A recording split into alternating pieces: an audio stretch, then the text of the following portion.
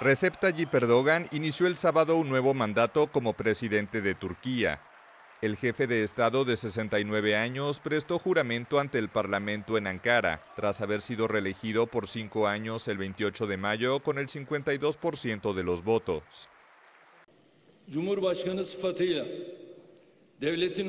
Como presidente de la República protegeré la existencia e independencia del Estado, la integridad indivisible de la patria, la soberanía incondicional de la nación. Me apegaré a la Constitución, el Estado de Derecho, la democracia, los principios y reformas de Ataturk y el principio de una república laica.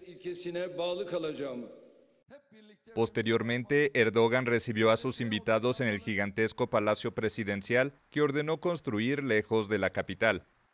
Entre los asistentes estuvieron presentes el presidente venezolano Nicolás Maduro y el secretario general de la OTAN Jens Stoltenberg. El mandatario pidió reconciliación a la oposición tras unas polarizadas elecciones.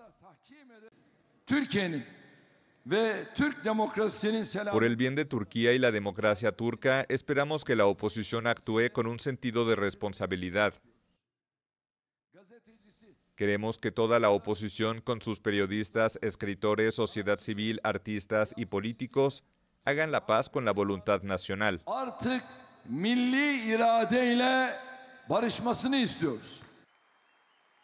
Turquía sufre de una grave crisis económica con una inflación superior al 40% y una fuerte devaluación de su moneda local con un tipo de cambio de más de 20 liras por dólar. El gobierno de Erdogan también tiene el reto de reconstruir las regiones devastadas por el terremoto de febrero pasado, en el que murieron 50.000 personas y más de 3 millones se quedaron sin hogar.